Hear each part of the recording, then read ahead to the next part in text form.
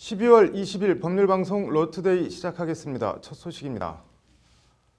어제 안철상 대법관 후보자에 이어 오늘은 민유숙 대법관 후보자에 대한 국회 인사청문회가 열렸습니다. 주정차 위반과 버스 전용 차로 위반 등 민유숙 후보자와 배우자의 상습 교통법규 위반이 도마에 올랐다고 하는데 이철규 기자가 오늘 공방 내용을 전해드립니다. 민유숙 후보자에 대한 오늘 국회 인사청문회는 교통법규 위반 지적 성토장을 방불케 했습니다. 민 후보자는 지난 2008년부터 주정차 위반과 버스 전용차로 위반 등으로 모두 22차례나 교통법규를 어겨 과태료 부과 처분을 받은 것으로 나타났습니다. 또 배우자인 문병호 국민의당 전 의원은 같은 기간 43차례나 교통법규를 어겨 이른바 과태료 딱지를 끊긴 것으로 확인됐습니다.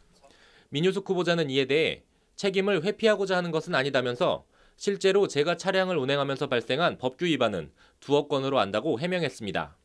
차량이거나 저희 명의로 되어 차량이지만 배우자 또는 배우자의 그 사무실의 운전 기사가 운전하면서 교통법규 위반이 발생한 것으로 저는 파악했습니다. 차량 관련 세금과 과태료 등을 상습 체납해 25차례나 차량이 압류된 것도 도마에 올랐습니다.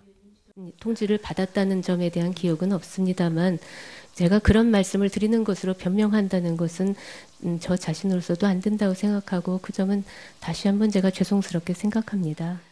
청탁 보석 의혹에 대해선 이름도 기억나지 않는다고 단호하게 부인했습니다. 재판 관련해선 논란이 뜨거운 낙태죄나 주치감경 폐지는 입법적으로 해결되는 것이 바람직하다며 공을 국회로 넘겼습니다. 만 13세 미만 아동과의 성관계는 동의 여부와 관계없이 처벌하도록 한 미성년자 의제강 간 피해 아동 연령 상향에 대해선 신중히 생각해 볼 만하다는 입장을 밝혔습니다.